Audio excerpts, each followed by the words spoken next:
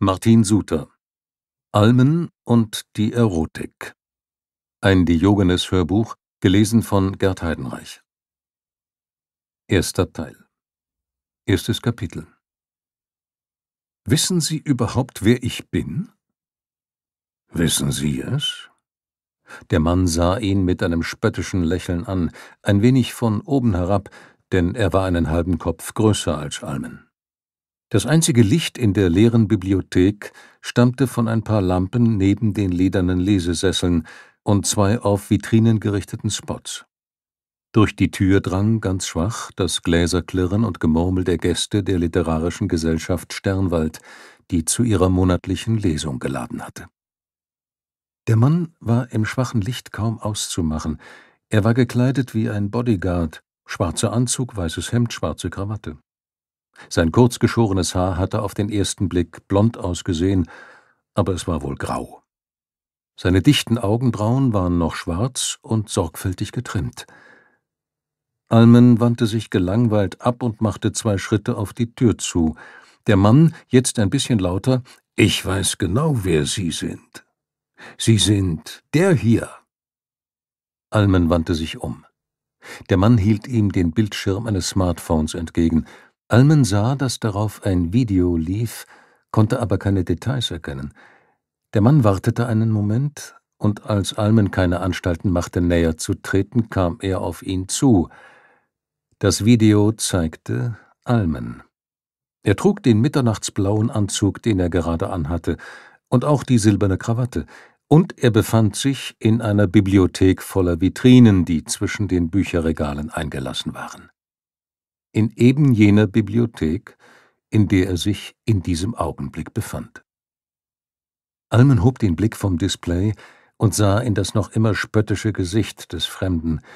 Dieser nickte ihm aufmunternd zu, Almen blickte wieder auf den kleinen Bildschirm. Er sah sich langsam die Bücherregale entlang gehen und vor einer der Vitrinen stehen bleiben.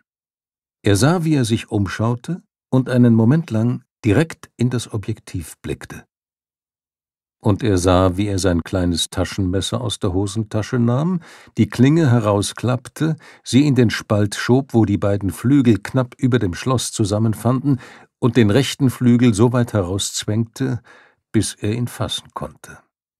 Noch einmal blickte er über die Schulter, noch einmal sah er direkt ins Objektiv, ohne den zu bemerken, der ihn filmte. Dann zog er. Der Flügel leistete ein wenig Widerstand, nahm den linken ein paar Zentimeter mit, bis der Riegel aus seinem Fach sprang. Almen glaubte aus dem kleinen Lautsprecher des Smartphones das metallische Geräusch zu hören, das dabei entstanden war. Nun sah er, wie er mit einem gezielten Griff einen Gegenstand aus der Vitrine nahm, ihn in die Hosentasche steckte, die beiden Glasflügel wieder so zusammenfügte, dass sie sich schließen ließen, sein Einstecktuch mit einem geübten Griff herauszog und damit über die Stellen der Vitrine wischte, die er berührt hatte. Der Mann schaltete das Smartphone aus und steckte es in die Brusttasche. Mit allem, was Almen noch an Überheblichkeit aufbrachte, sagte er, ich kann das erklären. Ich bin Kunstexperte. Zweites Kapitel Johann Friedrich von Almen der auf das von gerne verzichtete, um diesem mehr Gewicht zu geben, befand sich auf einer Durststrecke. Bei seinem letzten Fall ging es um die Rettung seiner Mitarbeiterin Maria und nicht um ein Honorar. Und bei seinem vorletzten Fall hatte er in einer bei ihm keineswegs seltenen Anwandlung von übertriebener Großzügigkeit auf ein solches verzichtet. Nun war es aber nicht so, dass bei ihm Großzügigkeit anderen gegenüber die Großzügigkeit sich selbst gegenüber beeinträchtigte. Almen war es seit vielen Jahren gewohnt, Geld unabhängig davon auszugeben, ob er welches besaß oder nicht. Eine Zeit lang half ihm sein treuer Diener Carlos, den er fairerweise längst als Geschäftspartner bezeichnen musste, aus der Patsche. Carlos, dessen Umgang mit Geld von seiner Vergangenheit als Schuhputzer und papierloser Einwanderer geprägt war, hatte in der Zeit ihrer gemeinsamen Tätigkeit als Wiederbeschaffer abhanden gekommener Kunst einen schönen Batzen beiseite geschafft und ließ Almen in den immer wiederkehrenden Zeiten finanzieller Engpässe daran teilhaben, bis der Punkt erreicht war, an dem es Almen unangenehm wurde, von der Freigebigkeit Carlos abhängig zu sein. In der Regel dauerte es eine ganze Weile, bis dieser Punkt erreicht war, und wenn es dann so weit war, ließ sich Almen noch einmal ein wenig Zeit, um etwas dagegen zu unternehmen. Der kleine Abstecher in die Bibliothek der Literarischen Gesellschaft Sternwald war die Maßnahme gewesen, die er zu ergreifen beschlossen hatte.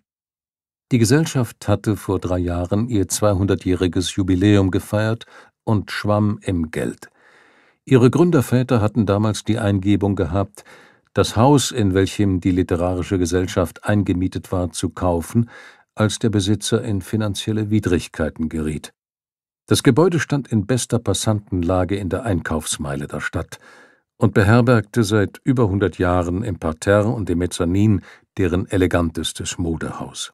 In der ersten Etage befanden sich die herrschaftlichen Räume der Literarischen Gesellschaft Sternwald, in den beiden darüber die Kontore einer alteingesessenen Anwaltskanzlei.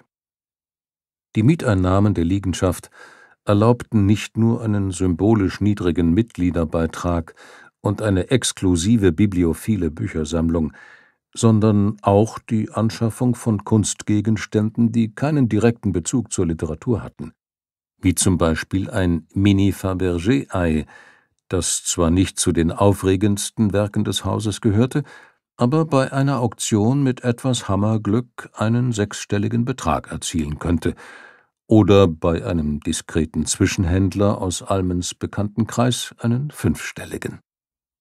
Almen war Mitglied der Literarischen Gesellschaft Sternwald, nicht nur, weil man als Teil der besseren Gesellschaft der Stadt aus Tradition dabei war, sondern weil er tatsächlich an Literatur interessiert war. Almen war ein passionierter Allesleser.